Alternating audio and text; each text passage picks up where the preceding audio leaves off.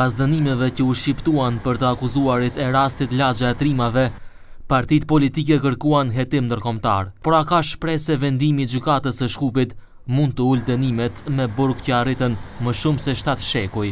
Ish-gjykatësi Fadil Xhelili tha se kërkesa për hetim ndërkombëtar nga partitë politike është vetëm një mjegull, pasi sipas tij tanimë është vonë. përfshirje të faktorit ndërkombëtar në hetimet e rastit.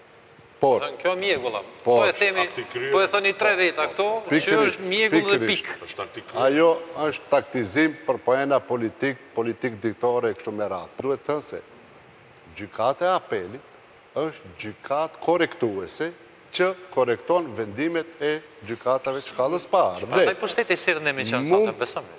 Mund ta rikthejë në shqyrtim.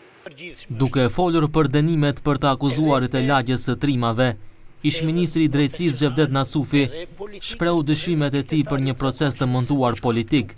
Ai tha se kur janë në pyetje shqiptarët, motivi për dënime është akoma më i madh. Me që janë shqiptarët në pyetje, dyshimi gjithmonë është edhe më i madh. Sepse motivet politike të cilat janë manifestu në proceset e montuara gjyqësore, kryesisht në të kalumen janë zhvillu nëpërmjet shqiptarëve. Edhe avokati Sejfullah Osmani tha se shqiptarët më nuk i besojnë gjykatave të Maqedonisë. Madje, ai u shpreh i bindur se prokuria bën dallime nëse para vetes ka një të akuzuar shqiptar dhe një të akuzuar maqedonas.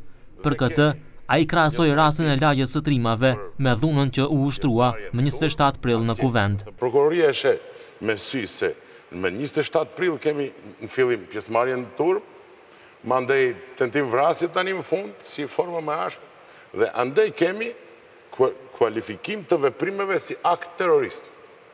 Tani do thuani po nuk mund t'i barazoni se andej ka armë këndej s'ka armë. Kush tha që s'ka armë? Ju shihni gjithë ato njerëz që janë të inçizuar në kamera që janë t'armatosur. Që janë me maska të zeza. Se ka vendime të dalluara në gjykatat e Shkupit në raport shqiptar-maqedonas. Këtë e pohoi edhe avokati Mefail Asllani. Ai tha se këtë e dëshmon edhe rasti i protestave për rastin Monstra dhe protestat në Gjorçe. Që protestat në Gjorçe, ato persona që thyen që thyen pronat e shqiptarëve që djegën veturat e shqiptarëve, dyqanet e shqiptarëve u dënuan me kusht. Kurse personat që protestuan për rastin Monstra u dënuan me dënim maksimal 3 vite. burg efektiv. Të pranishmit në emisionin Klik Plus kujtuan se nuk duhet harruar se akoma reformat në gjyqësi nuk kanë filluar. Sipas tyre, gjyqtarët dhe prokurorët ende janë nga qeveria e kaluar, qeveri të cilën e quajtën të korruptuar dhe të kriminalizuar.